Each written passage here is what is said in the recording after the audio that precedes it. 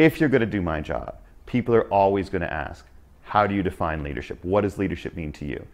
And this is a very personal definition, but it's one I feel other people can start with and grow their own as a result. And leadership to me is striving to act every day in a way that makes it more likely that you'll have a positive impact on your own life and on the lives of other people.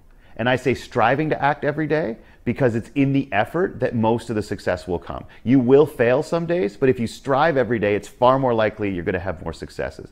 And I say make it more likely you'll have a positive impact because I think we have to acknowledge that you can do everything right, that you can strive and you can do everything right, but sometimes it'll still blow up in your face.